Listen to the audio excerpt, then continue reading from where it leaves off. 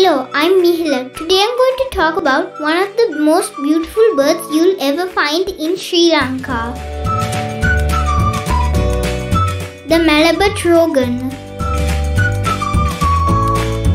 Unmistakable, the Malabar trogon is a species of bird in the trogon family.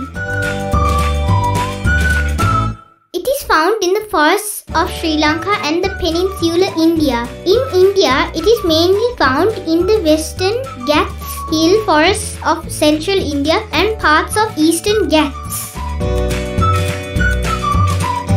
Male has black head, white belt and bright red belly. Female has a brown head and orangish underparts. Both sexes have a bright blue bill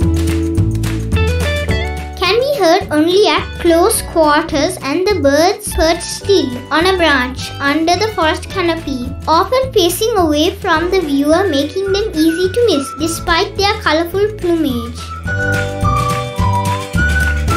Their calls are like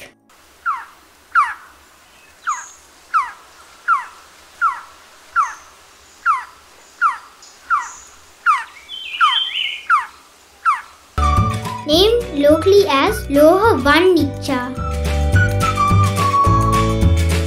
I have not seen the Malabar trogon. You can only see them in northern Sri Lanka.